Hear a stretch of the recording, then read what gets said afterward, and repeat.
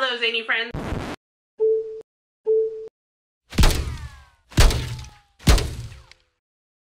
Catching Fire. Katniss goes back to the Hunger Games one more time. Hunger Games. Prequel to Catching Fire. the last time I lied. Girls missing from a camp. Again, the last time I lied. Who's not lying in this book? Sunday Potluck Club. Four girls lose people in their life and come together. Chamber of Secrets. Harry finds a book and starts talking to it. Starless Sea. Boy finds a book that's talking about him.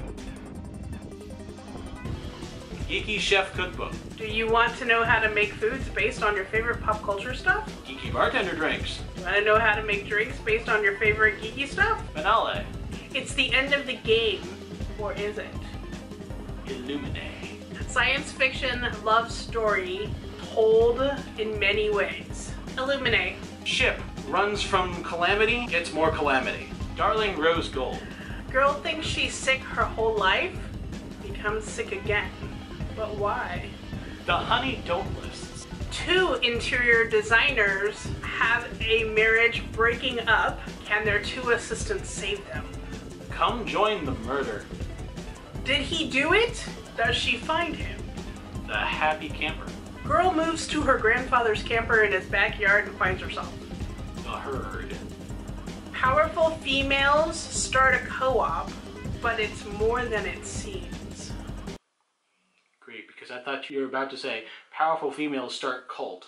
Stats. Well, I finished 13 books. I actually read 15. Number of pages, 4,749. I read five ebooks. I listened to seven audiobooks and I read two physical books. Seven of those books were for review, four of those books were for a book club, and four of those books were just personal. I wanted to read those books. I've got three audiobooks that I listened to. One of them was for a book club, uh, while the other two were just more we wanted to listen them together. I got a grand total of 1,484 pages. Awesome. Anyway, that is our speed reviews for March. Thank you so much for watching, and until next time, Stay zany. bye bye.